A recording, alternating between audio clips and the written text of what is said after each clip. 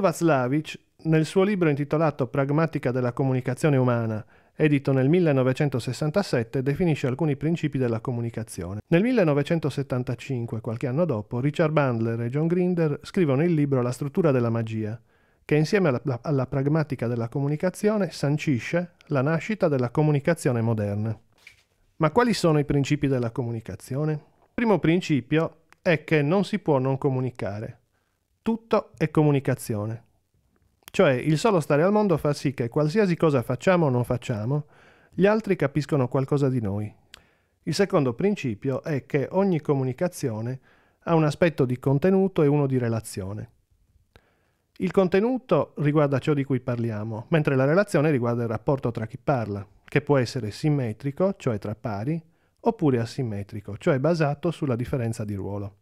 Il terzo principio è che la comunicazione avviene sia con il modulo digitale, che riguarda i contenuti, sia col modulo analogico, che invece riguarda la relazione. Il modulo digitale significa regole, grammatica e numeri e riguarda prevalentemente la comunicazione verbale, mentre il modulo analogico significa istinto, cioè voce e corpo, e prende in considerazione la comunicazione non verbale e paraverbale. Se ad esempio conosci qualcuno che ti dà la mano dicendo piacere, ma con un tono di voce monocorde e non mettendo energie, per esempio, nella stretta di mano, immagina, non lo so, la classica mano moscia, che idea ti fai di quella persona e della relazione che vuole instaurare con te?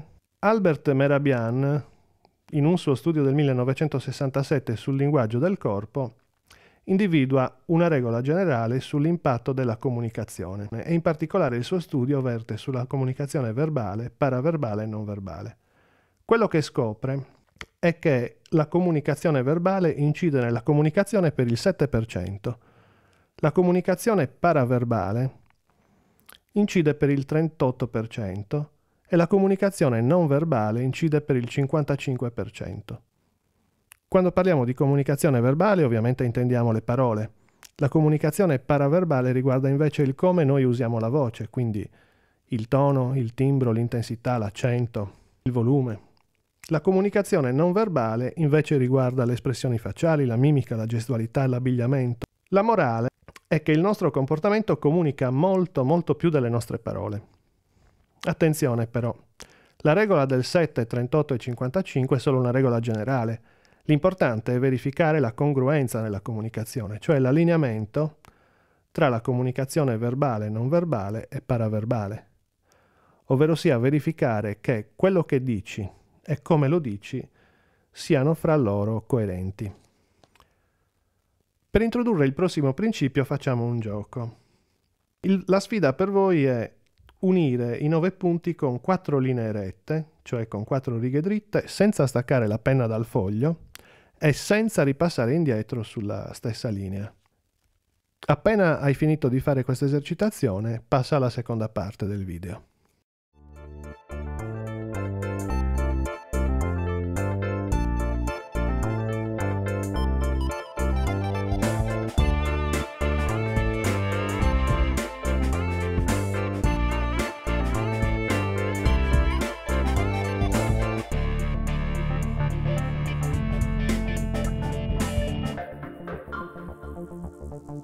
Thank you.